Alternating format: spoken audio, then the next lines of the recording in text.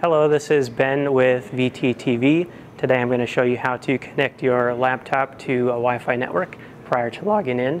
Uh, reason you might want to do this is if it's the first time you're logging into a new machine, especially if it's a work machine, uh, you might need to be connected to internet before you're able to log in. Uh, so let's take a look.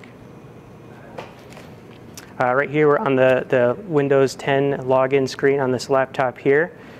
First thing you're going to do is hit Control Alt Delete on the keyboard to get it to this screen right here. And then down in the bottom right corner, you'll see this globe icon with the cross on it. This is for internet. Click on that. You should have a list of Wi-Fi networks that are available to you. Pick the one you want to connect to. Type in the network security key or your Wi-Fi password.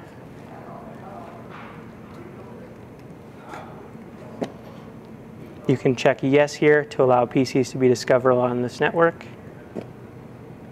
And now you're connected. And you should be able to log into your account. This is the first time you're logging in.